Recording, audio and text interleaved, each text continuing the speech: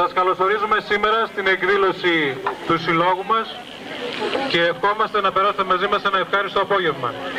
Ιδιαίτερα καλωσορίζουμε τους ετεροδημότες που ήρθαν να γιορτάσουν μαζί μας το Πάσχα.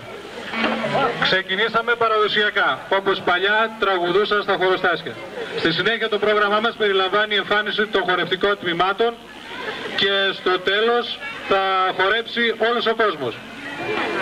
Με την ευκαιρία θα θέλαμε να πούμε ότι οι στολές που βλέπετε γυναικείες είναι καινούριες, ράφτηκαν πρόσφατα με την οικονομική συνδρομή όλων σας και εδώ θέλουμε να ευχαριστήσουμε ιδιαίτερα τις γυναίκες εκείνες που βοήθησαν για το ράψιμό τους καθώς και τον οργανισμό της Εθνικής Πρόνοιας που μας διέθεσε την κοπτοράπτριά του. Θυμίζουμε ότι τα χορευτικά τμήματα του Συλλόγου θα εμφανιστούν τρία σήμερα. Λειτουργούν εδώ και λίγους μήνες. Και με την ορχήστρα μας έχουν κάνει πολύ λίγες πρόβες. Γι' αυτό θα ζητούσαμε την κατανόησή σας για τυχόν λάθη και σφάλματα που θα κάνουν.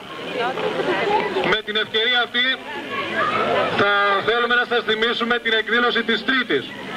Την Τρίτη το απόγευμα στην αίθουσα εδώ του κ. Καρέτσα θα γίνει συζήτηση για την ιστορία του χωριού. Παρακαλούνται οι πιο μεγάλοι και γενικά όσοι γνωρίζουν κάτι να πάρουν μέρος για να καταγραφεί κάποτε αυτή η ιστορία. Και οι νέοι ακόμα για να μάθουν για την ιστορία του χωριού τους.